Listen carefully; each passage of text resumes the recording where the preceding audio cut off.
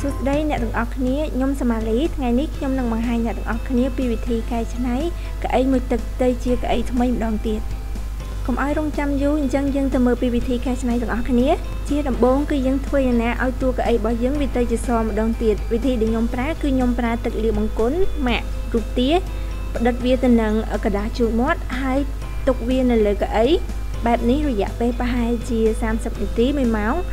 ប៉ុន្តែអ្នកទាំងអស់គ្នាអាចធ្វើការឆែករៀងរាល់កន្លះម៉ោងម្ដងបើសិនជាកៅអីគឺចាប់ផ្ដើមប្រែពណ៌សតាមដែលអ្នកទាំងអស់គ្នាចង់បានហើយអញ្ចឹងអ្នកទាំងអស់គ្នាអាចលាងវាចេញបានចំពោះជើងកៅអីគឺវាមានលក្ខណៈច្រេះខ្លាំងអញ្ចឹងវិធីដែលខ្ញុំប្រើគឺខ្ញុំប្រើម្សៅ baking soda លាយជាមួយនឹងទឹកក្រូចឆ្មាឬមួយក៏យើងប្រើអាចប្រើក្រូចឆ្មាធម្មតាឬមួយក៏ទឹកខ្មេះបន្ទាប់មកយើងធ្វើការលាបទៅលើកន្លែងដែលច្រេះ ហើយទុកចោលរហូតដល់កន្លែងច្រេះហ្នឹងឡើងទៅជាពណ៌ម្សៅឡើងទៅជាពណ៌ច្រេះអញ្ចឹងយើងធ្វើការកោសវាចេញ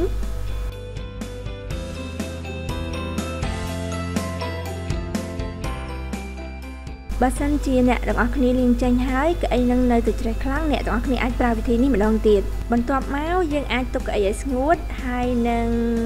ចាប់ដើមដល់ពេលដែលយើងលាបជើងកៅអីមុនពេលលាបជើងកៅអីអ្នកទាំងអស់គ្នាអាចធ្វើការរុំតួកៅអីដោយប្រើថង់ផ្លាស្ទិកសម្រាប់រុំអាហារអ្នកទាំងអស់គ្នាអាចជ្រើសរើសយកវិធី2គឺការបាញ់ថ្នាំឬមួយក៏ការលាបថ្នាំចំពោះផ្នែកមួយចំនួននៃជើងកៅអីដែលយើងអត់អាច រុំវាដោយប្រើថង់ផ្លាស្ទិកសម្រាប់រុំអាហារទេយើងអាចប្រើស្គុតយើងហៅថាជាស្គុតกระดาษបិទនៅកន្លែងណាដែលយើងមិនចង់ឲ្យពណ៌ប្រឡាក់បានព្រោះវិធីនេះវាងាយស្រួលហើយស្គុតกระดาษគឺធ្វើការបកចេញដោយមិនសល់នឹងស្នាមស្អិតខ្លាំងមុនពេលធ្វើការលាបឬមួយការបាញ់ពណ៌អ្នកត្រូវធ្វើការសម្អាតជើងកៅអីជាមុនចំពោះខ្ញុំខ្ញុំប្រើទឹកអាល់កុលផ្ដិតជាមួយនឹងសម្លៃហើយជូតនៅជើងកៅអីដើម្បីឲ្យ វាស្អាតមុនពេលដែលយើងធ្វើការលាបឬមួយក៏បាញ់ថ្នាំពីលើឥឡូវយើងមកធ្វើការលាបពណ៌ដែលខ្ញុំប្រើគឺពណ៌តុងដែងមានលេខ9033វាជាម៉ាកផលិតផលរបស់ថៃអឺចំពោះការលាបដំបូងអ្នកទាំងអស់គ្នាអាចដាក់វាតាមបន្តិចបានហើយពួកអីបើសិនជាយើងដាក់វាច្រើនវាអាចនឹងធ្វើឲ្យថ្នាំកកហើយនឹងពិបាកលាបទៅលើតួកៅអីដូច្នេះយើងអាចរំលែកវាម្ដងបន្តិចហើយលាបម្ដងបន្តិចវាជាការល្អ ការលាបគឺចំណាយពេលយូរប៉ុន្តែវាស្អាតជាងការបាញ់ពួកអីវាសប់បានល្អហើយនឹងស្មើសាច់ហើយចំណែកការលាបរបស់ខ្ញុំខ្ញុំធ្វើការលាប3ជាន់មានន័យថាខ្ញុំលាបលើកទី1បន្ទាប់មកខ្ញុំទុកចោលប្រហែលជា30នាទីបន្ទាប់មកខ្ញុំធ្វើការលាបលើកទី2 បន្ទាប់មកខ្ញុំទុក30នាទីទៀតនិងធ្វើការលាបលើកទី3បើសិនជាក្រោយពីការលាប3ដងពណ៌របស់វានៅតែមិនទាន់ដិតល្អតាមដែលចិត្តអ្នកទាំងអស់គ្នាចង់បានអ្នកទាំងអស់គ្នាអាចធ្វើការលាបលើកទី4ឬលើកទី5បន្តទៀតក្រោយពីកៅអីស្ងួតល្អអ្នកទាំងអស់គ្នាអាចចាប់តាមធ្វើការអឺបកនៅថង់ផ្លាស្ទិកចេញហើយនឹងមើលថាតើកៅអីរបស់យើងគឺលាបសពបានស្អាតហើយនៅឬមួយក៏មើលថាតើមានកន្លែងណាខ្លះដែលថ្នាំពណ៌ដិតនៅលើតួកៅអី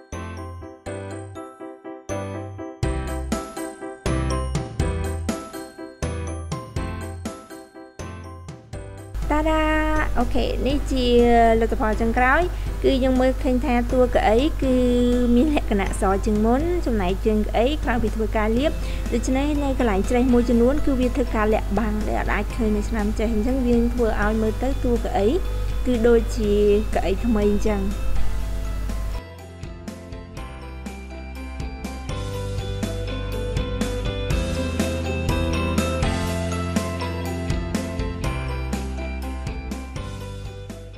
បើមិនសិនជាមានចំណុចណាដែលអ្នកទាំងអស់គ្នាអាចយល់អាច comment សួរខ្ញុំបានឬមួយក៏ឆាតមកផ្ទាល់សួរខ្ញុំក៏បានប៉ុន្តែអឺ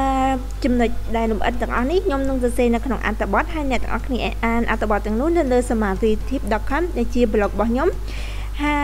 យអរគុណអ្នកទាំងអស់គ្នាចំពោះការទស្សនាវីដេអូមួយនេះអាសង្ឃឹមថាជួបអ្នកទាំងអស់គ្នានៅវីដេអូក្រោយទៀតបាយបាយ